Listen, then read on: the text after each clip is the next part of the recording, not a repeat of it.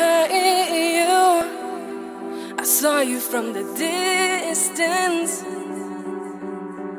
Hey, you. Can we talk?